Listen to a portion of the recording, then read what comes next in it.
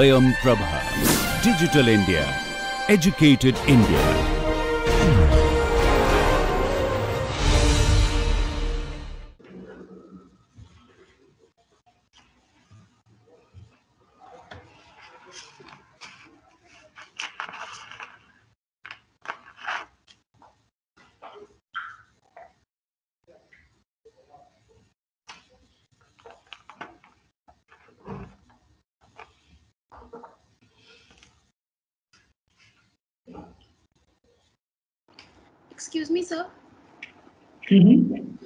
I had a doubt from last lecture. Can I ask? Yes, of course. Uh, yes, sir. Uh, Sir, in that uh, we had said that mm, during the uh, addition of uh, uh, uh, addition to C double bond C, we had said that uh, uh, uh, so we had said that uh, the trans intermediate is more stable, so that's why trans will uh, react better than cis, right? Okay. Mhm. uh, because the Yeah. uh, uh, bulky groups in cis are on the same side uh, during the in the in the intermediate so Okay. do we always uh, see the steric hindrance uh, here because uh, sir if we take a uh, uh, take a substrate with some existing dipole moment uh, instead of the usual uh, ch3 groups. So Mhm. if we take a if we take some if we take a substrate with a, some existing dipole moment then the substrate itself in we don't even need to see the intermediate right? The sub in the substrate itself the cis will be more unstable because in trans the dipole moment will get cancelled. So in that case will cis be more reactive Uh, so which example exactly you are talking about? So we did that elimination of two bromine atoms. That is Uh, no, sir. Uh, there was a question. Uh, you had given it in, a, in the form of a question between cis 2 butene and trans 2 butene, which is more reactive to addition. So, Yeah. if instead of uh, uh, butene, if we remove the uh, two of the CH3 groups and put some, um, uh, say, OMe or Cl or something, which is Mhm. which has a dipole moment. So, Mhm. in that case, what will happen? Uh, yeah, it depends on uh, on the substrate that you are looking at, but the principle that is involved here is uh, the stability of your transition state. Okay, so even if so, yeah, there are many cases where your dipole moment plays a big role. Okay, we'll see in the next next semester there are some reactions like uh, which involves Cram's rule. There you will see the dipole moment plays a very big role. Okay, so without a particular example, commenting would be a little bit difficult. But I would give a general answer that uh, you in those kind of reactions you would see the stability of the transition state. If the dipolar interactions are taking over your steric interactions, then you will have to also consider the dipolar interactions. Okay, so main aspect is you have to see the stability of the transition state that is happening for you So, we have to check the uh, dipolar interactions in the transition state. Yes, I mean whether those dipolar interactions are playing major role as compared to your steric interaction. I think I gave the example which involves only steric interactions. Yes, sir. Yeah. So if the dipolar interactions are now playing very big role, then uh, that will uh, form or that will take up, that will assume a different sort of transition state. In that case, we have to see uh, which isomer, the cis or the trans isomer becomes more reactive in that case. Okay. So you need a specific example uh, to uh, uh, to answer that actually. Okay. To see what is the stability of the transition state. Okay. Uh, yes, sir. Understood.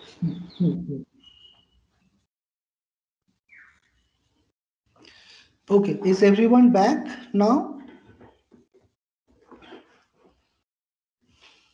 Okay, then we can start. Uh, you can still see the slides? Yes, sir. Okay. okay, so now we uh, we see a little bit on uh, elimination versus substitution reactions. Okay, elimination reactions are uh, mostly compared with the substitution because uh, they can go through the similar intermediate okay? So e1 is normally accompanied by sn1 because both are going through a carbocation intermediate. So it could uh, either favor elimination or it could favor uh, substitution okay in the same way e2 is also normally accompanied by sn2 because in both the cases you have some sort of uh, the backside attack that we have already discussed okay here we will discuss three main issues that influence uh, the E1 by SN1 product ratio mainly, E2 by SN2, and the change of pathway between E1 by SN1 to E2 by SN2. There are some reactions where this path could get changed. In one case, it was giving E1, but if we change the condition, it could give E2 or SN2. So E1 by SN1 and E2 by SN2, it actually varies in the order of primary to secondary to tertiary. As you know, for tertiary, SN2 is also is not uh, not very much favorable. Okay, so it goes in this order. So from primary to secondary to tertiary, your elimination would be uh, much uh, much easier than the substitution. Due to the stabilization of the transition state or double bond by more number of alkyl groups or hyperconjugable hydrogen atom. Okay. Second factor is uh, conjugation could also favor the elimination. If it is conjugated, then your elimination product will be much faster, much higher. For example, if you take CH3CH2Br, you will get only 1% of alkene as the product. But if it is PhCH2CH2Br, it, it has been observed that the yield becomes 99% because it could stabilize the or it could increase the acidity of this one okay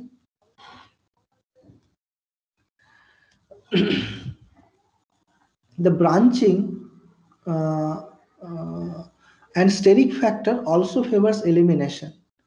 For example, uh, in your E1 elimination case, you first generate a carbocation intermediate. Now this carbocation intermediate accompanied by a leaving of this one of this beta proton would give this uh, would give this olefin. But if it undergoes substitution, then it will give again this kind of compound. So now here this carbon is sp2, uh, sp2 carbon. So that means the angle that it has is 120 degrees. So that means these substituent are far apart, which remains valid in the eliminated product because in the eliminated product also this carbon is sp2 in nature, which is again 120 degree angle. So the steric interaction is minimized, is not there. Whatever it was there here, it was reproduced here. But if it comes to the substituted product, the angle becomes 109 degree, 28 minute. So then if these R groups are a bit bulky, then they could have steric interactions among each other. So based on this ground also, if the branching increases, which will increase the steric interactions, that would actually favor your elimination reaction. Is it clear?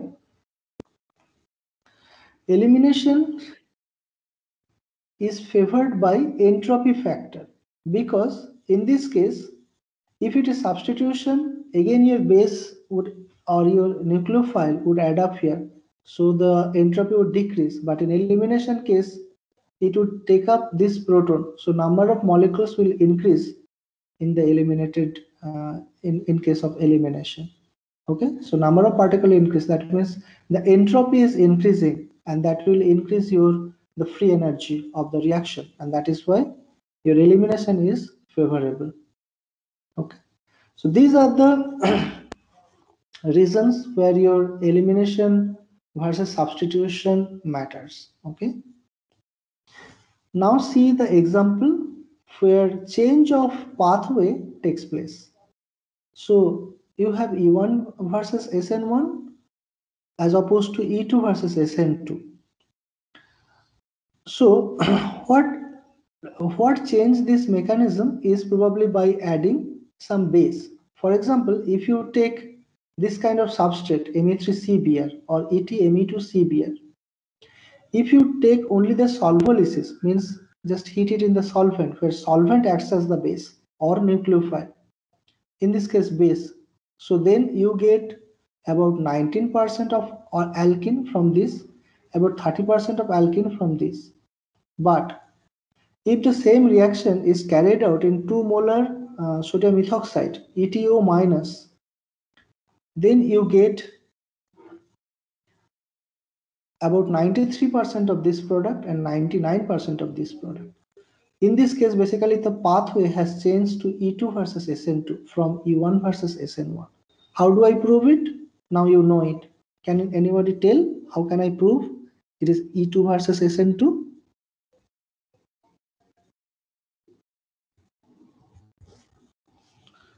So basically here the rate has increased. Okay.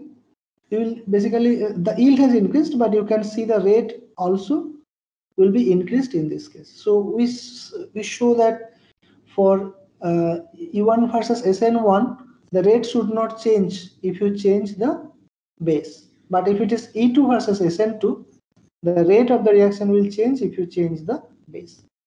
So you can easily see whether it is the pathway change or not by monitoring the strength of base. If you alter the strength of base, the rate will also change. So in this case, uh, the rate has changed and that is why the product yield has increased. Okay. Okay, so uh, we'll again come back to the pyrolytic syn elimination after we uh, finish talking of 1-1 elimination. Okay. So this was uh, this much was your one two elimination that some of uh, the part you have learned in your first year and other part we have covered here.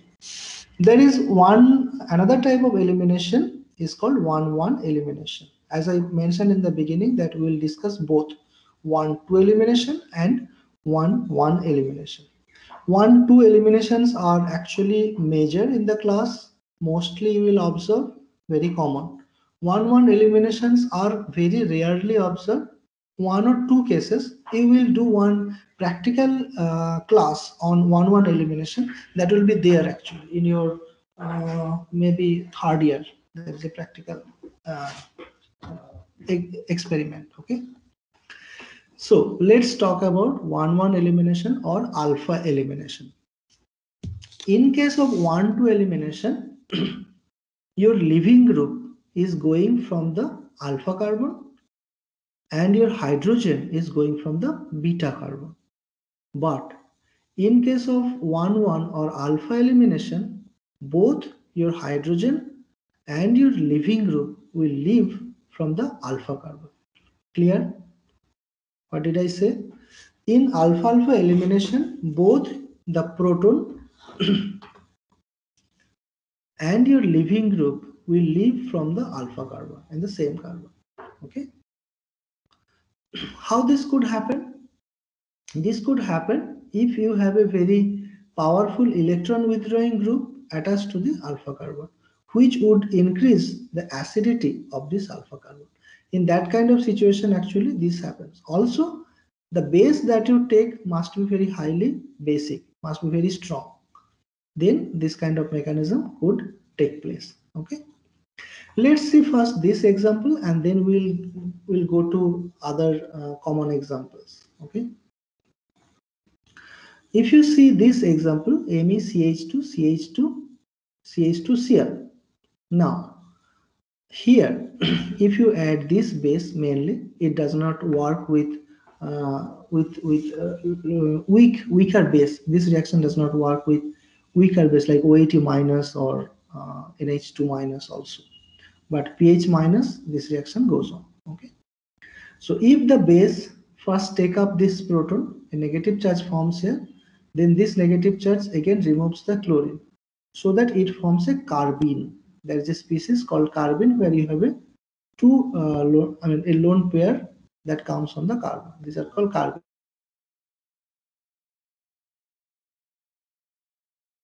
chapter on carbene. This is very interesting chemistry actually, but here I just introduce it about this carbene. So it forms a carbene followed by this proton. The beta proton actually moves then to this alpha carbon and then you form a double bond. So ultimately you form a C double bond C olefin compound. So how do we know that this proton is leaving? I mean, I could totally say that one proton is leaving from here and the leaving group is going from here. So then you, are, you can form this olefin. We can easily say it, right? How do we prove that this is the mechanism? It is going through carbene. The mechanism actually comes through isotope labeling experiment. When two alpha proton, these two proton is replaced with two deuterium. So these two H is replaced by two deuterium. Then in the product, it has been seen that one deuterium is lost from the alkene. So you will get one deuterium here. Okay, one deuterium is lost. If it is an E2 elimination, then no deuterium should be lost. Both, both the deuterium should be there because you are taking a proton from here. is it clear or not? What I'm saying is these two proton now becomes two deuterium. Okay. If these two are deut two deuterium in the product, we find that there is only one deuterium present here. That is the proof that this mechanism is happening. But if this is a uh, E2 mechanism, E2 mechanism means this deuterium remains unaffected. One of this proton from this carbon is gone. And then you get a double bond. So that two deuterium would be present, but that is not the product. So E2 is not happening here. Here, what is happening is your alpha alpha elimination. Okay. In the second uh, two deuterium atom. If you replace these two uh, two uh, hydrogen with two deuterium atom, then it is observed that one deuterium transferred to alpha carbon. One of these transferred into this carbon. E2 mechanism would have lost one deuterium atom. You have understood this one?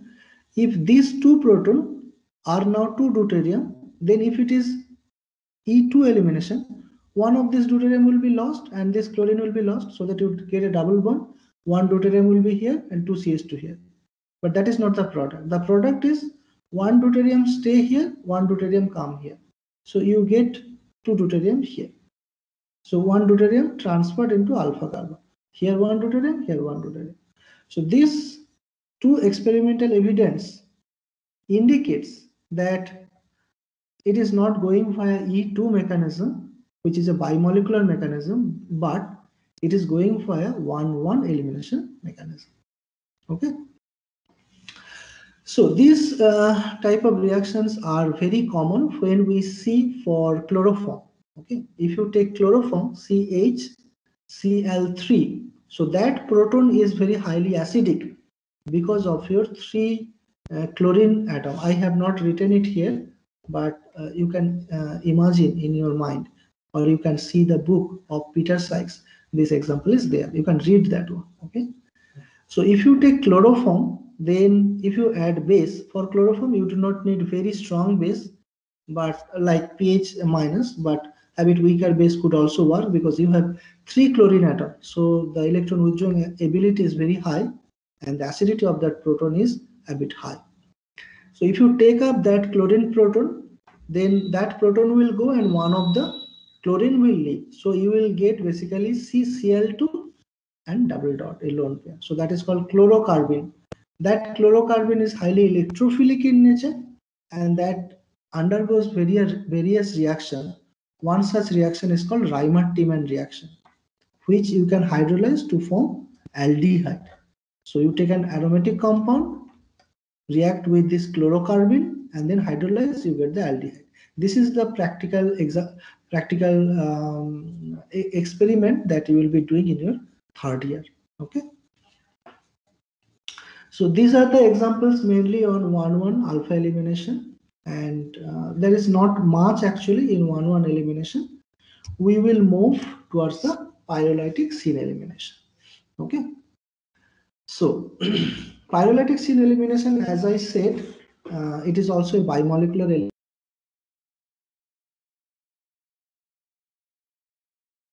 it is not one one elimination so don't mix miss like i am discussing it after one one so it may be one? One no it is one two elimination. But it is a syn elimination. When i was discussing the uh, the elimination stereoselectivity i mentioned that the elimination is mostly uh, anti-periplanar uh, orientation that is happening from the anti-periplanar orientation. But there are few compounds where the uh, the intermediate or the transition state that is forming from this molecule favors the syn periplanar conformation where it is locked in the syn periplanar conformation. And then in those cases you will get is uh, the olefin via via syn elimination. Okay? What i said I said that for acyclic compounds, most of the time you get the product olefin from anti-periplanar orientation, which we have seen earlier because of the fact that your leaving group, uh, your leaving group and the base that should come from the opposite side in order to remove reduce the electrostatic interaction. But when your, let's say, the transition state is stabilized, then it could favor the syn periplanar orientation. Okay, let's take an example and you will understand. In this case, in pyrolytic scene elimination, the elimination um, happens in absence of added reagents. Okay, so base is not there. So that means the base and the Y minus, the leaving group interaction is absent.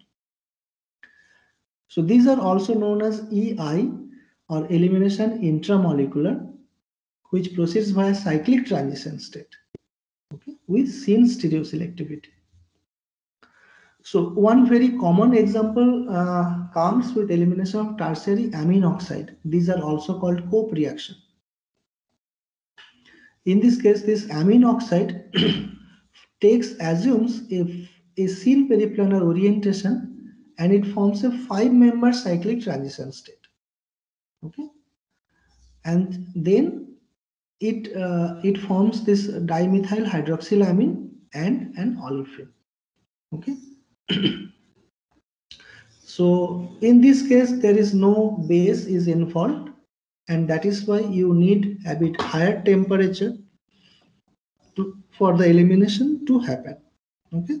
And in this case you get the olefin there are uh, other variations of this reaction so the reaction could also happen for xanthates it's called pyrolysis of xanthates uh, so you have this C double bond S S Me group.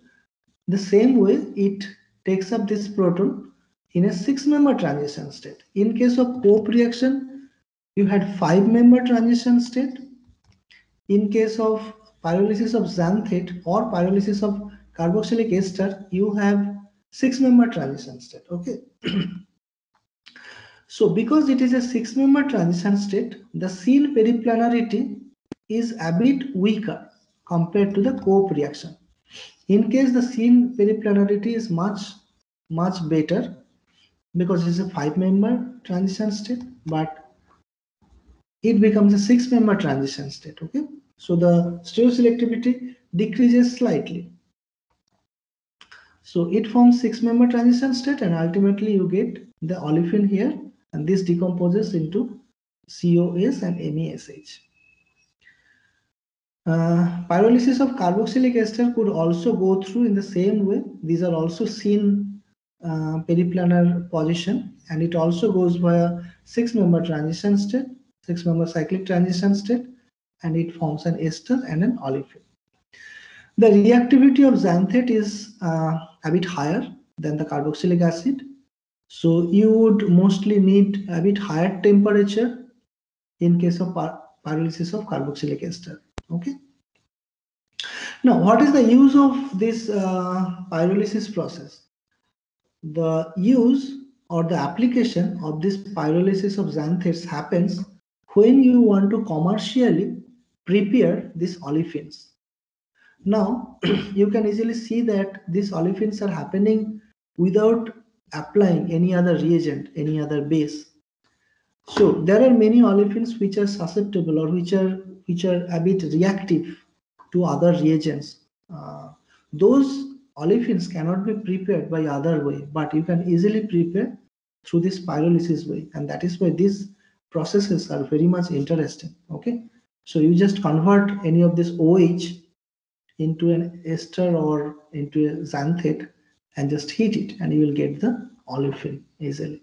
But if it is OH and if you add some other base or acid, maybe this olefin would undergo rearrangement.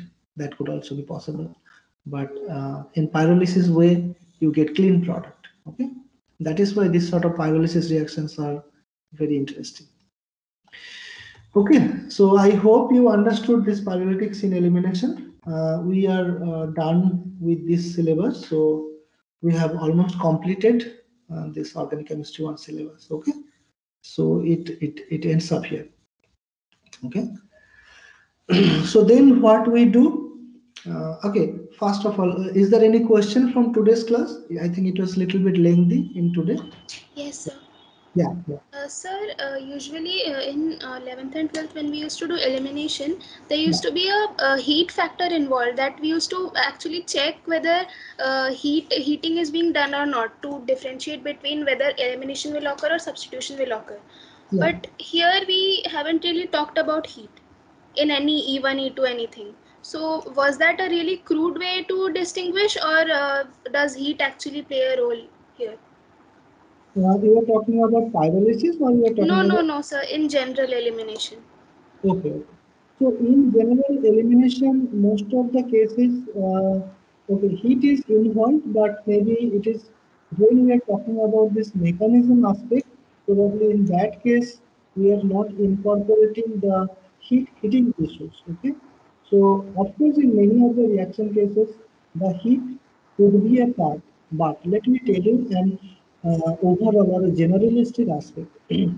when you do a carbocationic uh, rearrangement, generally your heating is involved. Most of the carbocationic reactions, we do it by heating. But most of the anionic reactions, anionic reactions, we do it at low temperature because anion, I mean the base could do many things if we heat it. So most of the cases generally would not heat too much. Okay, most of the cases it would be either room temperature or low temperature or such that. Okay, for carbon, this is a general uh, general observations that we have uh, in the in the laboratory. If it is the carbanion, generally the heating is not too much. Okay, but if it is the carbocation, the reaction most of the time it goes through via heating. Okay, so that is why in uh, when we are talking about this base induced eliminations, we are not increasing or we are not uh, bringing the heating uh, aspects. Okay. Yes, sir. okay. So uh, since we have uh, we have almost finished this uh, syllabus, now our uh, our next step is that we will have an exam on uh, on this Sunday on this Saturday coming Saturday the same that you gave in the last Saturday.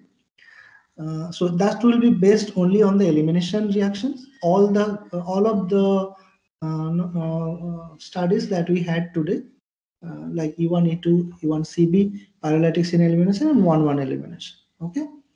Based on that we will have the exam on the coming Saturday from again from uh, 9 to 11 or if you have class we can make it on 8.30 to 10.30 okay that is one and second is so these are like uh, uh, partly we have taken exam so we'll take one full exam on next Monday. Next Monday is your last official class.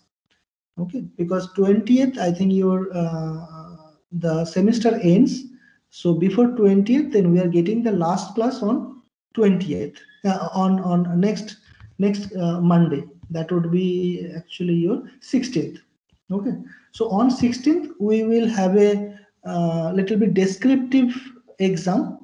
So I will send you the question by email on the that day morning. Let's say if we decide the time by 8:30, I will send you the exam by 8 uh, the question by 8:30, and uh, I will give you maybe two hours. So by 10:30, your exam will be over, and you can submit uh, by taking the pictures and making the PDF via email. But the next exam will be happening through Moodle. Next sun, next Saturday's exam will be through Moodle, but the next Monday's exam will be uh, through email. Okay, is it clear? Okay. Sir, in Moodle, we are having problems while uh, uploading our answers. Like in the last uh, test, we were not having the option to upload uh, photos from computer or some, something. Yeah, I I had, I also saw that one one of you sent me the snapshots. So I saw that one. I did not know why this happened because last uh, two times it was quite fine. So I will see uh, what, where was the glitch. I mean, where that option, why that option was not uh, available there. That I will see. So in those cases, if there is some problem, then definitely you can send by PDF. But if otherwise everything remains all right, then you could upload there. Okay we'll see that I mean, that is that should not restrict you from submitting your answers or or that will not also uh, make any problem in submitting your answers okay okay so now we'll discuss uh, our last uh, saturday's uh, questions okay? Okay before that i will just stop the recording